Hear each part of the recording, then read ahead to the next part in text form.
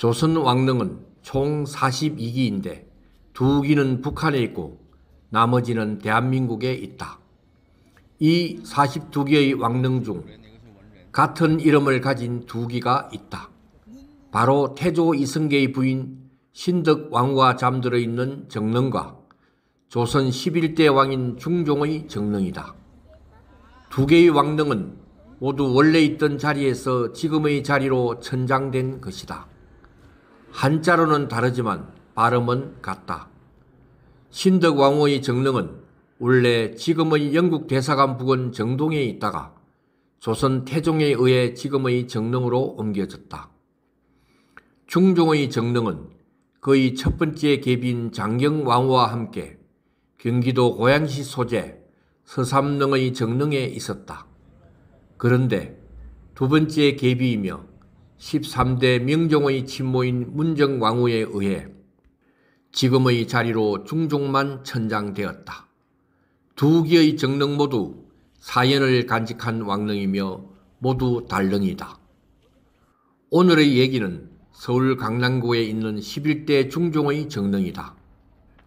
일반적으로 정릉이라 부르기보다는 성종의 설릉과 합쳐 선정릉이라고 부른다. 정릉은 지하철 2호선 선릉역 10번 출구에서 약 7분 걸어가면 찾을 수 있다.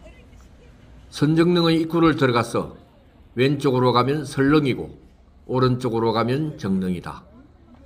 정릉으로 가보자. 신성한 지역으로 들어왔다는 표시인 홍살문이 나온다.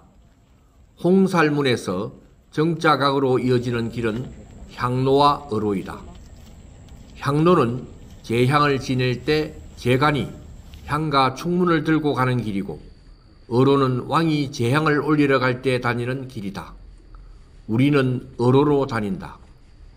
정릉에는 수락관과 수복방이 없다.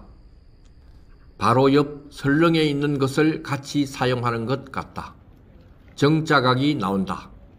정자각은 제사를 지내는 공간으로 산자와 죽은 자의 만남의 공간이다.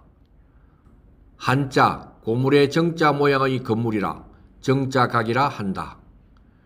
정자각에서 지붕과 벽이 모두 있는 건물이 정전이고 정전 앞에 있는 단을 월대라고 하는데 그 월대 위에 기둥과 지붕만 있는 건물을 배위청이라 한다.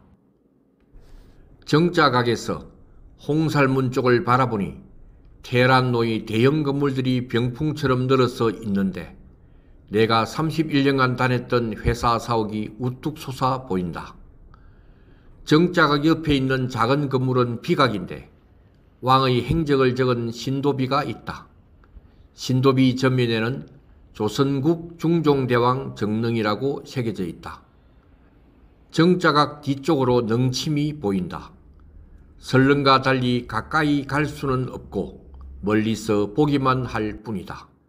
네, 이곳은 조선 11대 임금인 중종의 무덤인 정릉입니다. 성종의 설릉과 합쳐 선정릉이라 하는데요. 명종 때 중종의 비인 문정왕후가 중종의 능인 정릉을 경기도 고양군 원당에서 이곳으로 옮기게 됩니다. 그런데 이 정릉의 자리가 매년 여름이면 짐수가 되어 물이 차게 되는 피해를 입게 되어 중종과 함께 안장되기를 바랐던 문정왕후는 그 뜻을 이루지 못하고 현재 태릉에 홀로 안장되어 있습니다. 조선 왕릉 중에서 왕만 단독으로 있는 무덤은 단종의 장릉을 제외하면 태조 근원릉과 이곳 중종의 정릉뿐입니다. 임진왜란 때 선정릉이 외병에 의해 파헤쳐지는 순환을 겪기도 하였으나 현재까지 도심 한가운데에 남아 잘 보존되고 있습니다. 중종은 성종과 정현왕후의 아들로 1494년 진성대군에 봉해졌고 1506년 반정으로 이복형 연산군이 폐위되자 왕위에 올랐다. 재위 기간 동안 연산군 시절의 잘못된 정치와 제도를 바로잡았고 향약을 전국적으로 실시하여 유교적 향촌 질서를 자리잡게 하였으며 서적 편찬 사업도 활발히 진행하여 인쇄술의 발달에도 기여하였다. 57세의 나이로 창경궁 환경전에서 세상을 떠났다. 중종이 성한 후 처음 묻힌 곳은 고양시 현재의 서삼릉이 위치한 곳이다. 중종의 첫 번째 계비 장경왕후와 같이 동원 이강릉 형태로 조성되어 있었다.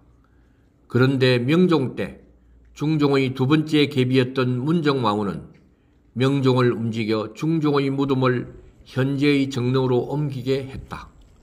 명분은 아버지 성종의 무덤인 선릉 옆으로 가야 한다는 것이었지만 문정왕후 자신이 사후에 남편과 같이 묻히고 싶다는 생각이었다. 그리고 문정왕후는 봉원사를 중창하고 설릉과 정릉의 원찰로 삼기도 했다. 그러나 정릉은 지대가 낮아 홍수 때 제실까지 물이 차서 신하들이 무덤을 쓰는 것을 강하게 반대하여 문정왕후는 그 옆에 묻히지 못하고 지금의 태릉에 묻혔다. 이로 인해 중종과 세 왕비, 단경왕후, 장경왕후, 문정왕후의 능은 모두 따로 흩어지게 되었다. 정릉은 설릉과 함께 1592년 임진왜란 때 능이 파헤쳐지고 관까지 불에 타는 순환을 겪었다. 정릉은 국조 오레이에 따라 병풍석과 난간석을 둘렀고 문석인과 무석인 등의 성물을 배치하였다. 세 명의 부인을 두었지만 누구와도 같이 묻히지 못한 중종 임금, 역사의 아이러니라 하겠다. 정릉을 돌아보고 밖으로 나오니 조선시대에서 지금의 현실로 돌아온다. 정릉은 역사를 품고 있고 중종은 지하에 있는데 테라노는 그때의 역사를 아는지 모르는지 바쁘게 돌아가고 있다.